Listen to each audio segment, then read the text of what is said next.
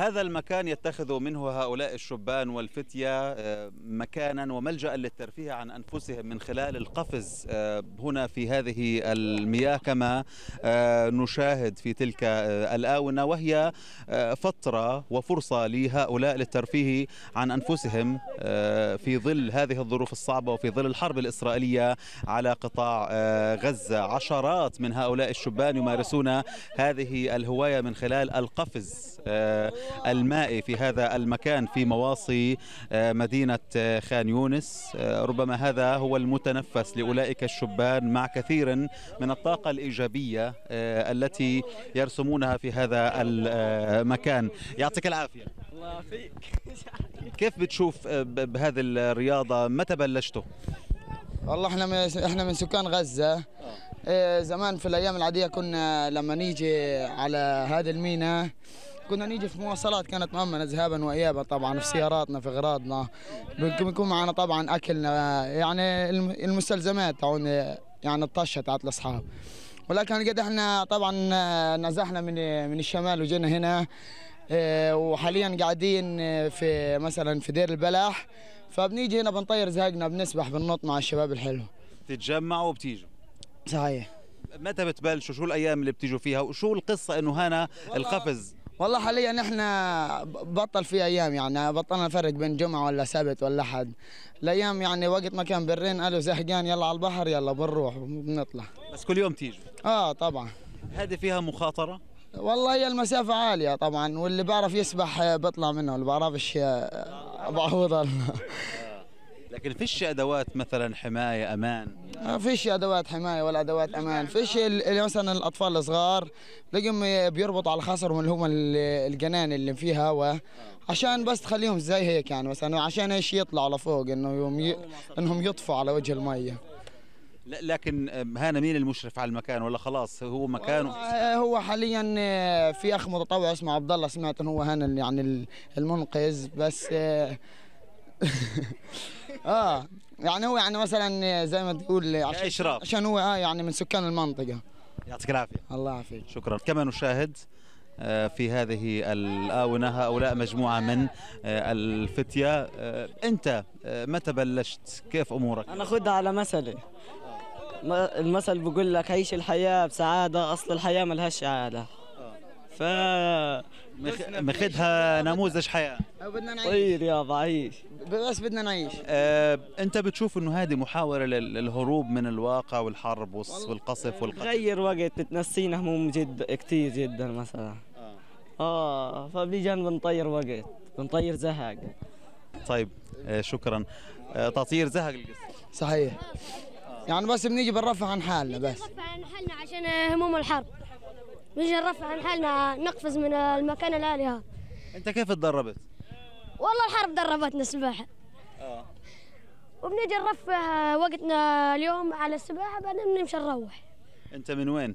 من القرارة سكان القرارة. يعني من هنا؟ آه. آه. قبل الحرب كنت تشوف اللي بيجوا هان كيف؟ صار كان في منقذين وكان آه، كان في متوجد لنا أمان وها. يعني كان في لكن اليوم اليوم ما في ولا منقذين ولا شيء. يعني ذيك المرة لقوا واحد فط من هين لقوا ميت طلع على الشط. آه يعني مخاطرة. مخاطرة. آه. بس إحنا بنرفه وقت عن حالنا. ما بال قبل يأذن المغرب نمشي بنسحب عنه وبنروح. كم غطسة غطست اليوم؟ والله ما اليوم ما غطست. بنقفز وبنطلع. كم مرة؟ إيه؟ أكثر من مرة. إيش بالضبط بتسوي أنت يعني؟ بتجري وبعدين بتنط هذه النطة وكيف بتطلع؟ بنفش الغل الفينا لا أقول لك يلا ورجينا كيف. هو يا معلم خلينا نشوف. بس استنى استنى است- اوعى يكون في مخاطرة عليك. يعني أنت متعود. طب يلا ما ارفع يا شباب ارفع يا شباب إيش اسمك أنت؟ اسمي أحمد. بتستعجلش يا أحمد اصبر شوي شوي شوي شوي عشان بدنا نجيبك وأنت بالراحة تتحمسش وبكل هدوء وقول بسم الله. بسم الله. توكل على الله. يلا روح يا مشروع كما نشاهد في هذه الآونة هؤلاء ال- الفتية. بهذا ال- الشكل. طبعا الشبان كما نشاهد الآن جولة انتهت. الآن هنا جولة أخرى وهذه مجموعة أخرى من هؤلاء الشبان يمارسون هواياتهم في القفز هنا في هذا المكان كما آه، نشاهد في تلك اللحظات. هناك متمرسون صراحة آه، في هنا متمرسون. إحنا هنا نفرح. طيب إن شاء الله دائما الفرح على وجوهكم في هذا ال- المكان. سنحاول أيضا أن نستطلع الأجواء هنا. ربما هذا المكان أيضا هو فرصة لمواطنين أيضا آخرين ليرفهوا عن أنفسهم في هذه اللحظات. خلينا نتبع مع الشباب اللي نطوا هنا. آه. نتبع معهم في هذا المكان. هذه منطقة الميناء كما هو الحال. السلام عليكم. نحكي معكم؟ إيش الأخبار؟ وسهلا. كيف حالك؟ الله يخليك. أنا بدي على الشقة هاد عشان نحكي معكم كلمتين كويسات. إيش ال- الوضع؟ ال- المكان وال- والفرجة؟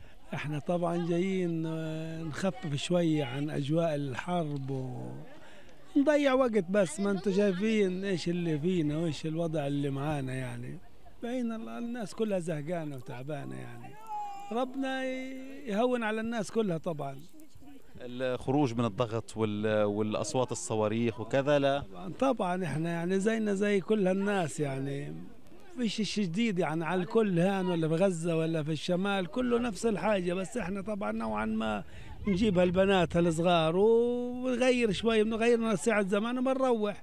اختلفت الطشات عن قبل البحر لليوم. إحنا هي طشة ولا هي طشة هذه. بس هيك ضيعت وقت بس والله يا عم. إيش نسوي؟ إيش الحال؟ بيجيبو بيجيبوك البنات يعني ها بدنا نطلع. طبعا آه طبعا أنا بدهم يطلعوا بس إحنا هاي هاي أفضل مكان عندنا هالقيت إحنا إيش فيش غير هيك يعني. وربنا يهوننا على الجميع إن شاء الله يا عم. إن شاء الله. شكرا. شكرا شكرا. يعطيك العافية. شكرا جزيلا. إيش أخبارك انت الحمد لله. إيش اسمك؟ راما. يا راما كيف الجو هنا؟ حلو عادي. هينا مبسوطين قاعدين. قولي لي كيف كانت أجواء الانبساط قبل الحرب واليوم بعد الحرب؟ الطشات قبل الحرب وبعد الحرب. قبل الحرب أحلى كنا نروح البحر نسبح نعمل نجيب معنا أغراض. أما هلأتا بنيجي بنقعد وخلص. بنقعد بنغير جو بنروح خلاص طيب شكرا يا راما شكرا. ولا أمكم آه، يعني الواحد كثير الاطفال بطلبوا والبنات كثير بطلبوا شغلات لكن الواحد ها بالسهل الممتنع.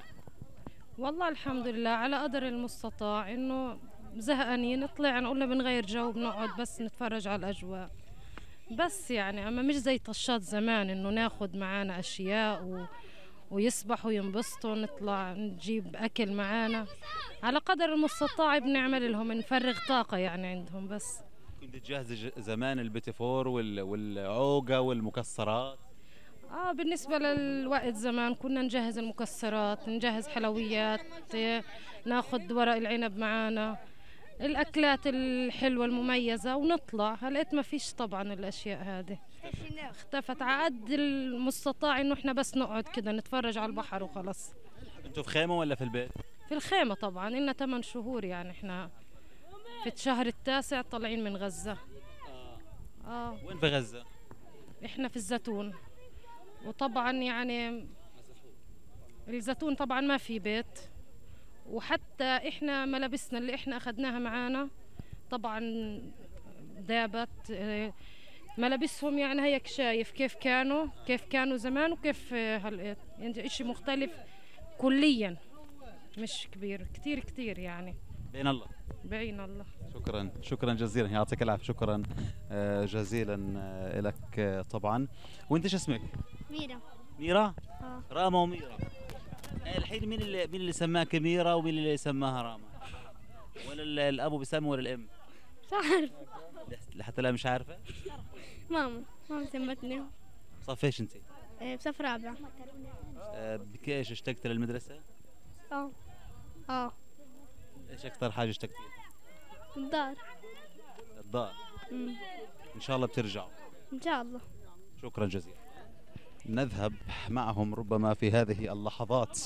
الجميلة التي يختارونها في ظل أنهم يتعرضون لضغط كبير وهذا الضغط النفسي آه، أيضا خلافا لاستمرار هذه الحرب الإسرائيلية على آه، قطاع غزة وما تسببه من مآسي لهؤلاء السكان. هذه الأجواء التي يخلقها هؤلاء الشبان والفتية هي محاولة للخروج من الظروف الصعبة والسيئة التي يعيشونها جراء الحرب الإسرائيلية المستمرة على قطاع غزة وهي أيضا محاولة لنسيان تلك الظروف الصعبة على مدار تسعة شهور من هذه الحرب الإسرائيلية على قطاع غزة.